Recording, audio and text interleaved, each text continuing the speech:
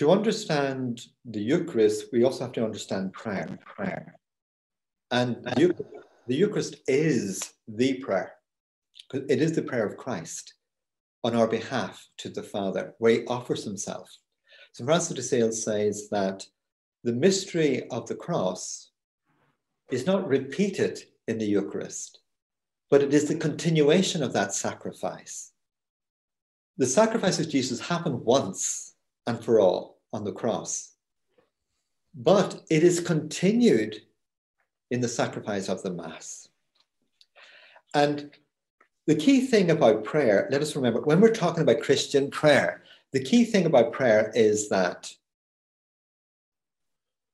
the key agent in prayer is not us, it's the Holy Spirit. We're responding under the Holy Spirit guidance to God. St. Therese of Lisieux says a wonderful thing. She says a wonderful thing. It always stayed with me, it always struck me.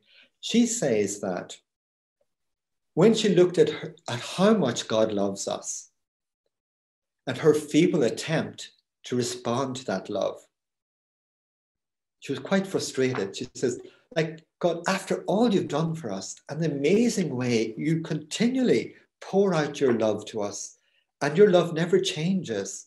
It's steadfast.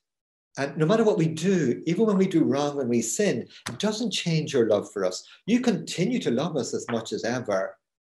How can I possibly respond to such infinite love? How can I respond to it? And she discovered the only way she could respond to God's love in any meaningful way was to borrow his love. And she says, when we pray with the Holy Spirit, we borrow his love in order to love him back. And that's the only way that God can be loved. You know, our human love is so limited in that regard. So we borrow his love when, under the guidance of the Holy Spirit, we respond to God in prayer. And what we begin to discover, therefore, is that when we talk about prayer, Jesus is always constantly at prayer for us. And prayer, ultimately, Christian prayer, is actually tuning into the prayer of Jesus, who's always praying to us.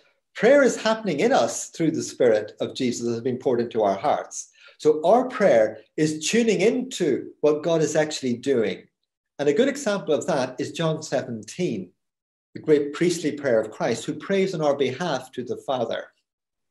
Father, that they may be one as you and I are one. And this would be a good exercise, good prayerful exercise for maybe some of our viewers to do, is to go through John 17 and to allow it to become personal. So, for example, when you hear Jesus saying, Father, I pray for those you have given me that they may be one as we are one, for example, then simply say, when you're praying with the Brian, Jesus, you pray, you're praying that Brian, who has been given to me, may be one with me as the Father and I are one. So to put your name in the place of where he's talking about this, when we do that, it helps us to tune into the prayer that is already happening with Christ. So we need to understand this first before we can understand what is happening in the Eucharist. If you liked what you just saw and would like to see the full interview, click on the Watch More box above or else click on the link in the description box below. Make sure to also click on the subscribe button above so as to receive more regular content. Thank you.